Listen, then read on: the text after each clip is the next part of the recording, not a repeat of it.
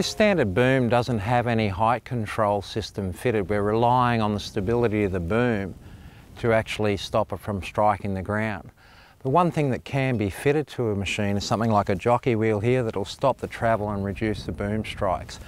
The other thing this has fitted is a rail on the outside as well. This is probably an original feature. This is something the growers actually added. So this is a complete manual system to stop boom strikes. Pretty cheap but pretty effective. This can be coupled with something like a hydraulic load sensor in the ram so that when the boom goes down and the wheel takes the weight, can actually re reverse the flow in the hydraulic sensor and just lift the boom gently. So this is a bare minimum cheap cost.